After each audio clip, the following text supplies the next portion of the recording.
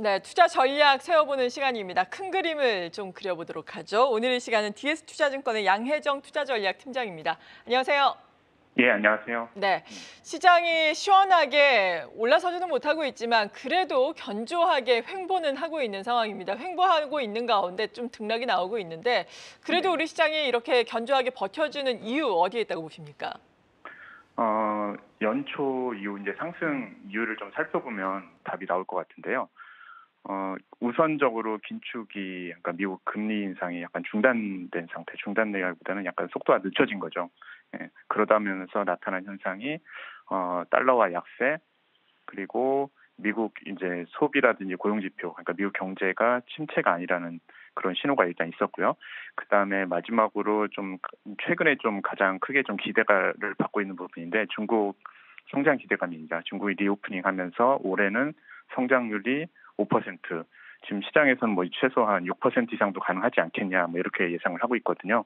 예, 그게 가장 컸다고 생각을 합니다. 그러면서 외국인 같은 경우가 지난해에는 계속 매, 매도를 했었어요. 매도를 하다 보니까 외국인이 한국 시장에서 차지하는 비중, 그 다음에 외국인 누적 순매수 추이를 보더라도 이게 거의 08년 금융위 수준 정도까지 떨어졌었거든요. 근데 반면에 한국 시장은 하락을 했고 원달러 환율 같은 경우도 1,400원 이상까지 갔었거든요. 그러다 보니까 가격적인 측면하고 그다음에 환 측면에서 봤을 때 약간 한국 시장에 대한 투자 가치가 높아진 이유 이게 이제 가장 큰 상승 이유라고 생각을 하고 있고요.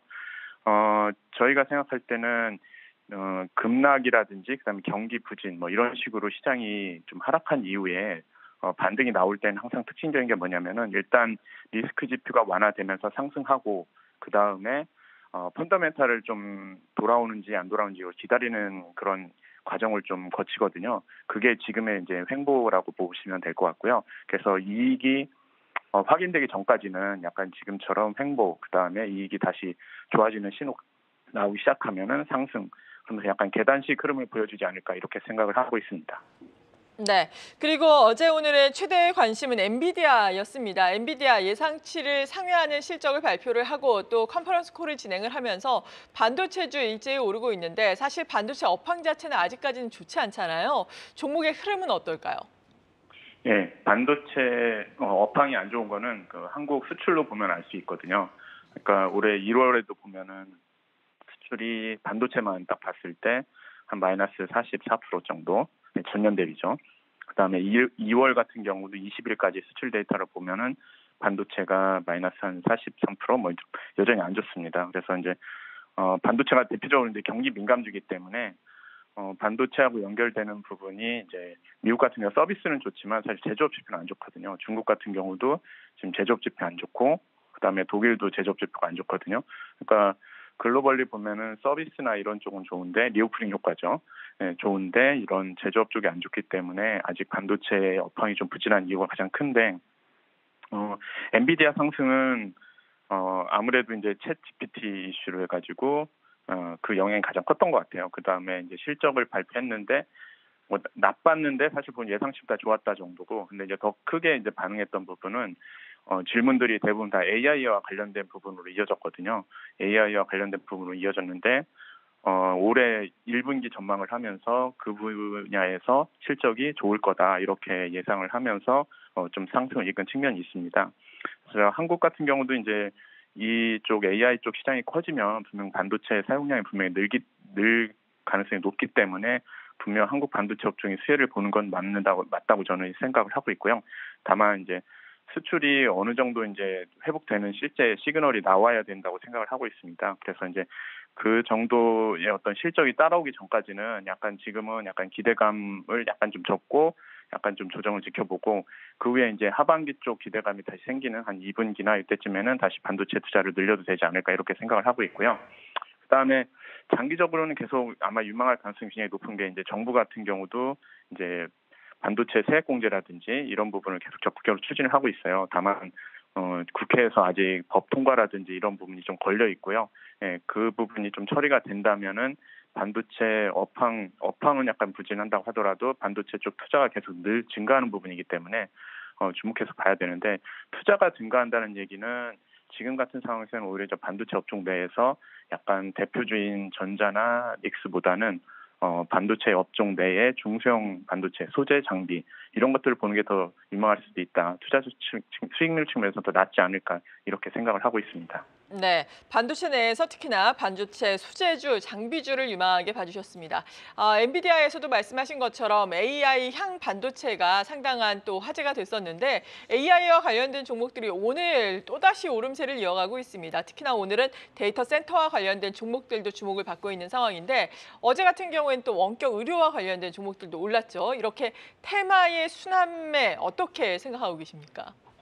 어, 지금처럼 이렇게 테마의 어떤 순환매, 그 다음에 종목들이 움직이는 가장 큰 이유 중에 하나는 또, 어, 가장 큰 게 이제 어제 같은 경우에 그 하느니 이제 금리 동결을 했잖아요. 동결을 하면서 금리가 좀 내려갔습니다. 그러다 보니까 이제 테마들이 움직일 수 있는 환경이 좀 만들어졌고요.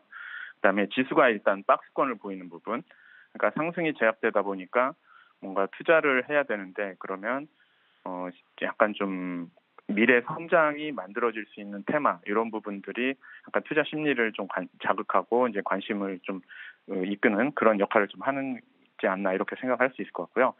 어, 아직은 이런 테마주들이 사실 실적은 확인이 안 됩니다. 실적이 확인이 안 되기 때문에 분명 부침은 있을 거예요. 등락이 있을 거고, 어, 그 과정을 소화하는 과정을 분명 거칠 거라고 생각을 하고 있고요.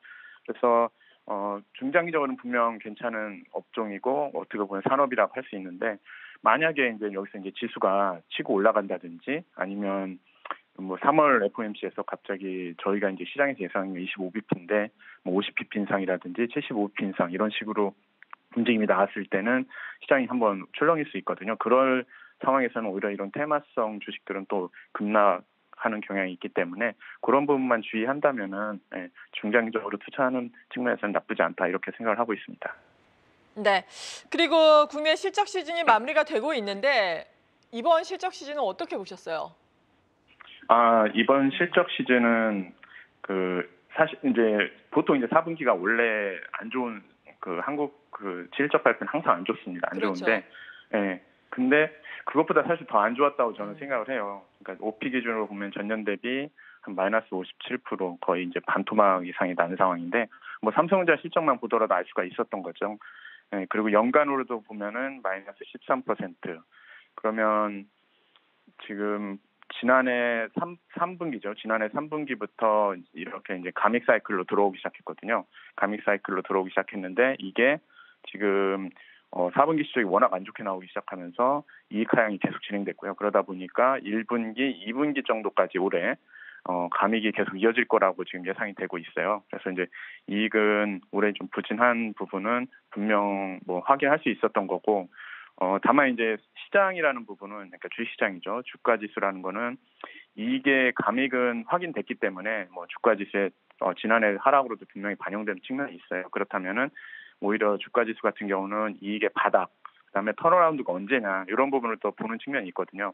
근데 지금 이익 증가율 자체는 감익인데 어 바닥 그러니까 이익 절대 레벨이죠. 절대 수준은 지금 1분기 정도의 바닥을 찍고 2분기, 3분기는 좀 올라갈 거라고 예상이 되고 있어요.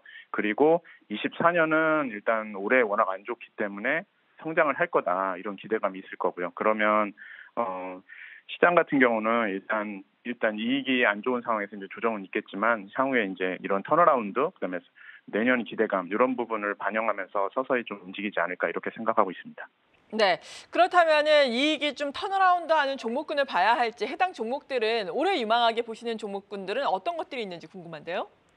예, 연초 이후 시장이 약간 디스 디스인플레이션 그러니까 음. 이제 인플레이션 하락 속도가 좀 늦춰지면서 지난해 낙폭이 컸던 종목들이 많이 움직였었어요. 그게 이제 대표적으로 성장주들이라고 볼 수 있는데 어 지금은 어 인플레이션 하락 속도가 좀 늦춰지고 있는 구간 그리고 이제 FOMC도 이벤트가 남아 있고요. 근데 이제 반면에 어, 중국 기대감은 계속 유효하거든요. 특히 이제 3월 4일에 중국 양회 하면서 중국이 어떤 어, 부양책을 내놓을 것인가.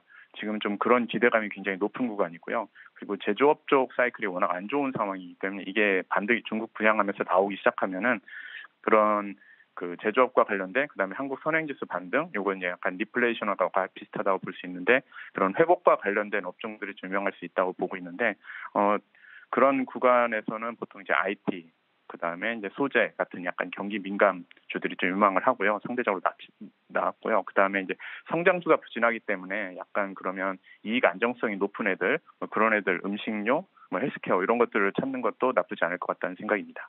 네. 그리고 오늘 밤에 미국에서는 개인 소비 지출이 발표될 예정인데 그래서 이에 따라서 물론 우리가 뚜껑을 열어봐야 되겠지만 다음 주 증시에 미치는 영향은 어떻겠습니까? 어, 일단 그 미국 개인 소비 물- 물가 지수를 보면은 네. 어, 소비자 물가 지수에서도 확인되었듯이 약간 MOM으로 사실 보면은 지난 전월보다 사실 올라올 거라고 예상이 되고 있어요. 그래서 이제 아마 이번 물가 지수 발표에서도 보시면은 아 인플레이션 하락 속도는 분명 아 그 지난 9%에서 6%로 떨어질 때처럼 빠르지는 않을 수도 있겠구나 이런 게를 좀 반영할 거라고 생각을 하고 있어요. 그래서 이런 하락 속도가 둔화되는 측면에 있기 때문에 이제 그 계속 이제 FOMC에서 25bp냐 50bp냐 이런 논란이 계속 잡음을 만들지 않을까 정도로 생각을 하고 있어요.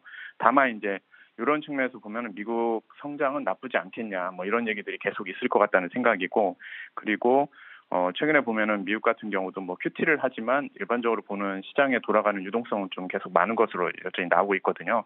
그래서 당분간은 이런 그 물가와 관련된 플레이보다는 사실 보면은 지금은 미래 이제 한 3월, 4월에 이제 경기 회복 이런 쪽을 바라보고 더 투자하는 게 낫지 않을까 이렇게 생각을 하고 있고요.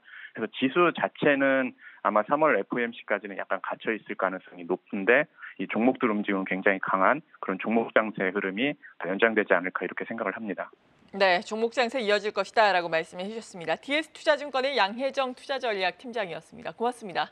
네, 감사합니다.